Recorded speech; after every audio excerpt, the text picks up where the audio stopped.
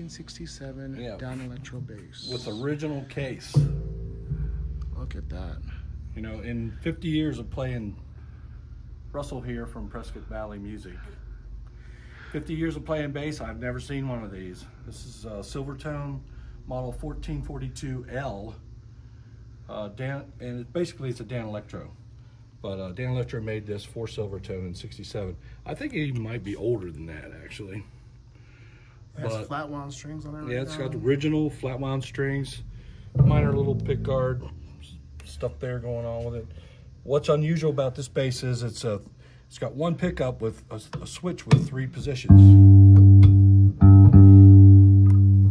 Tone knob, volume, master volume. So it's got a That's- treble position And that's a the middle, original finish, right? original finish. Beautiful. So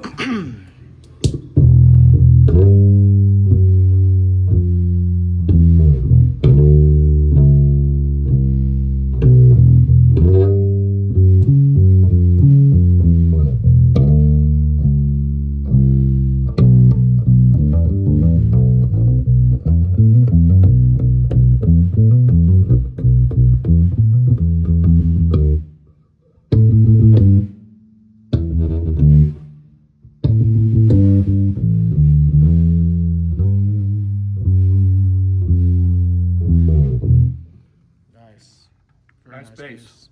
All right. Gotta be worth a grand, maybe somewhere in there. I've never seen one.